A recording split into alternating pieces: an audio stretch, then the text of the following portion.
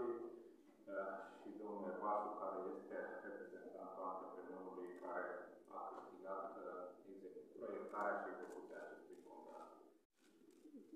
Domnule prefect, ca organizator al acestei semnări a contractului, de ce nu ați invitat și primăria, un reprezentant? Da, da, da, beneficiarul, care vine și cu 13 miliarde de lei.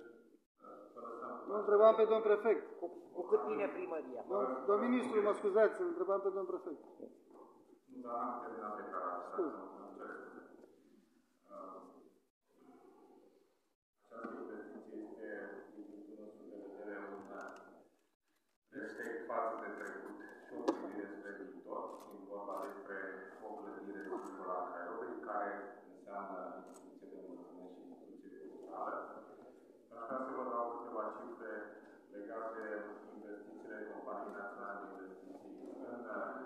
2020, sunt în curs de implementare 10 obiective cu o valoare de 87 de milioane de lei, din care cele mai importante sunt uh, consolidarea garantare de extindere totală la Spitalul Orășinesc Garcea, consolidarea restaurare la Biserica Madonna Duhului din Craiova și sala de sport cu 180 de locuri uh, din Comuna Cetate.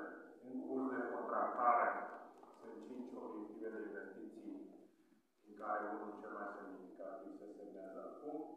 În afară de Colegiul Zaharul I, sunt în curs de contractare vală sportivă tip 1 la Băilești și reabilitarea pavilionului ISU Oltenia, cele mai importante uh, investiții.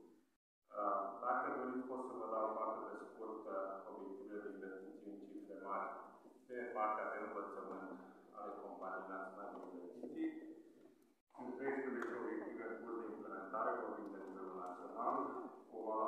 188,7 miliarde de lei, din care 7 cămine studențești, aici vorbim de